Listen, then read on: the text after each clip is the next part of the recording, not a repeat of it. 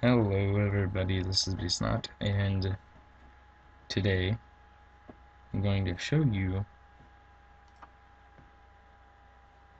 how to install the Lazy Newb Pack because Argus wanted a full-on tutorial, and I know they probably wouldn't be able to figure out how to do this on their own, so you type in Lazy Newb Pack like that, like this, you get this, and you go to download Lazy Newb Pack, everything a noob needs, and you click mirror one, max out that other window, and click download now.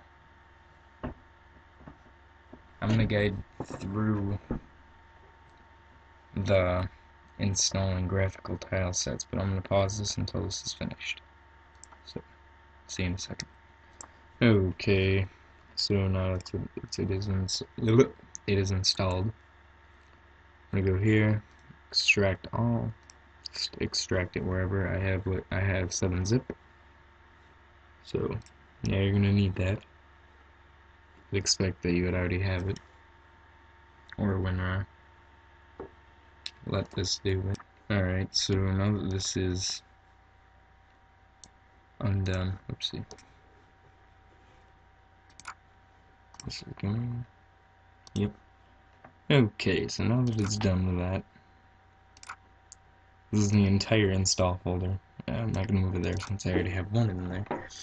You're gonna double click Lazy Newb Pack, run, and you're gonna click Phoebus. You're gonna go to the graphics tab. You're gonna click Phoebus or Iron Hand. Iron Hand's also good, but I prefer Phoebus. I'm gonna, gonna click Install Graphics. Hit OK. Uh, either way, you can click either one. Um, yeah. Then we're gonna go to Advanced, change Calculation FPS Cap, 999, change Graphical FPS Cap, 999. Intro movie, yep window to yep, autosave yearly, all that crap. We could change this. This you can put more or less priority on it. Pause on load. I like that. So there we go. And we're gonna turn aquifers off because pretty much what they do, they just kind of take good sites, usually, and I don't really like that. So, that is how you install the Lazy Newb Pack.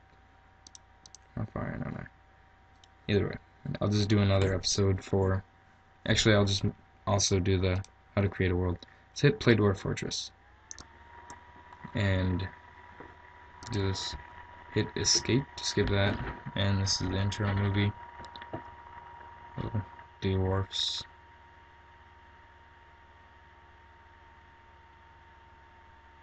Yeah. Could have put on sound, but either way, you can see it for yourself. Now you got create a new world, which you assign minimal parameters. Pretty much you get to choose some stuff. This lets you make a complete world however you want it.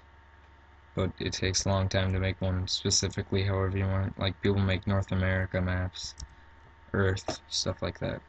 Object Testing Arena. This is a fun little thing. You can put in water, magma, and you can put in creatures with their own skills and weapons. And you can put like a legion of raccoons up against a dragon if you wanted to.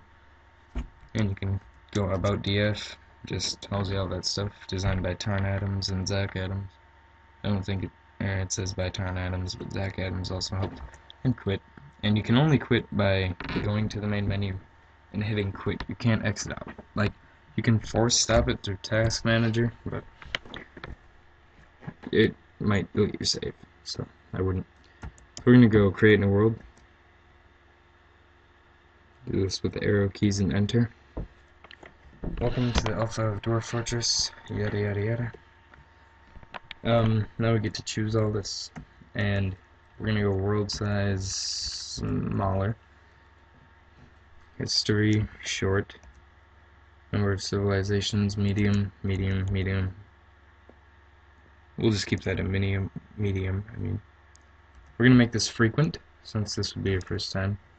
Actually, I'd suggest you go natural savagery low for your first world. You can make as many worlds as you want. I make a lot of them usually, but anyway, then once you have your stuff, you hit Y. And this is what the world more or less looks like. This is a necromancer tower. This is a castle. This is a town. Little hamlets. There's a er. Like these are hamlets. This is a hamlet. These grid things, these are towns, which are pretty much cities, and you'll have seen those in my adventure mode. Uh, Dark Goblin Fortress. Um, they don't have goblin places in this release. So it's just pretty much a dark fortress, I guess. I don't really know what those are. I don't really... I haven't ever explored one, I don't think. And this is, I think, a necromancer fortress. But anyway, I'm pretty sure these are filled with zombies.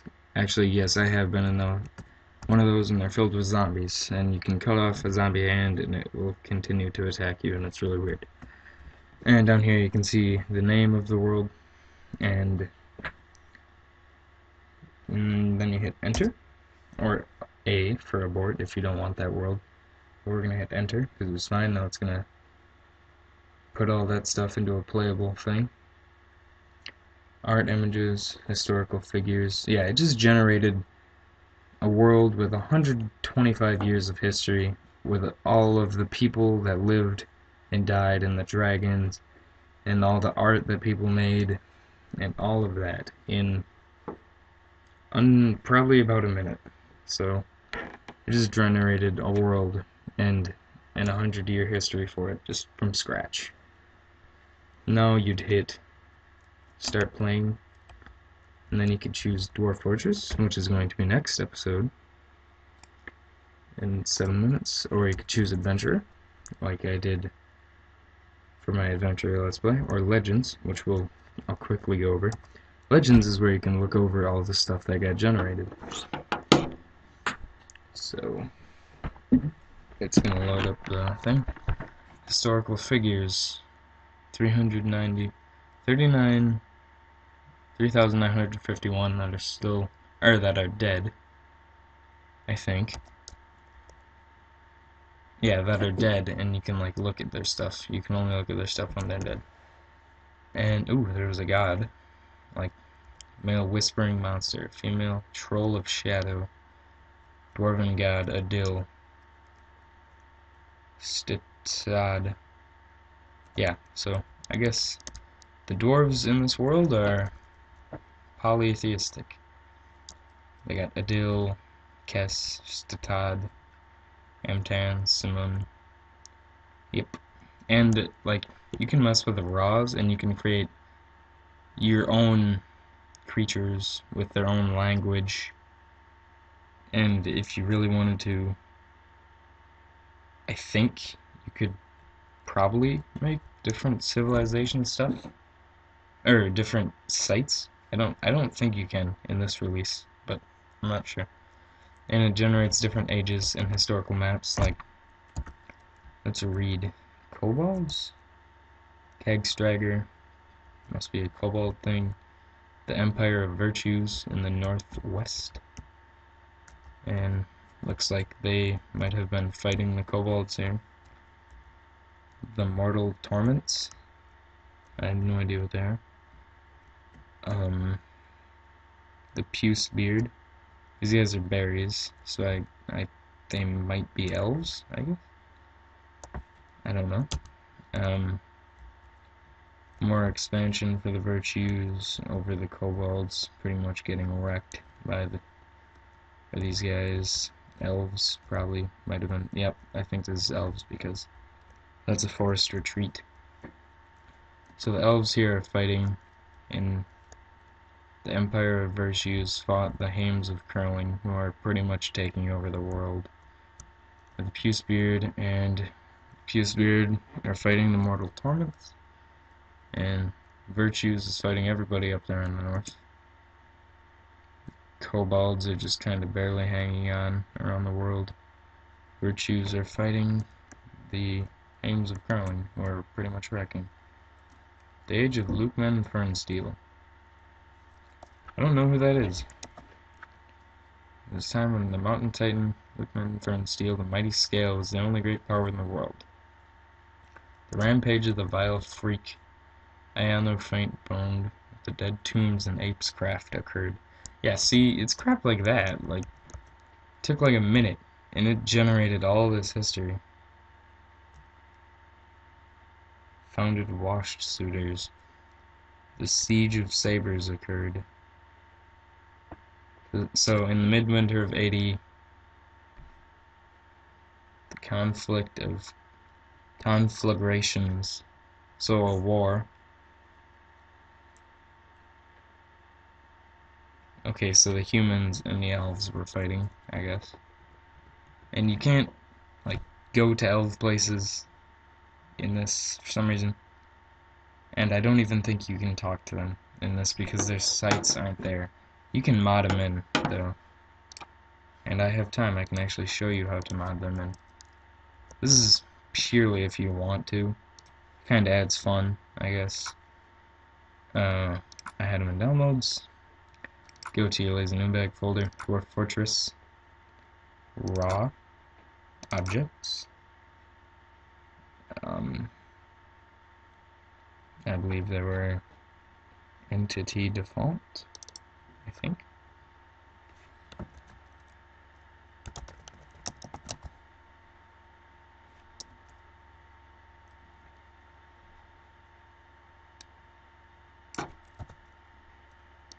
Okay. Okay, what you do, you... Wait. Let me, restart. Okay. You go in here. You hit Control F. Default. Site. Type. You hit X. Or the find next. For enter.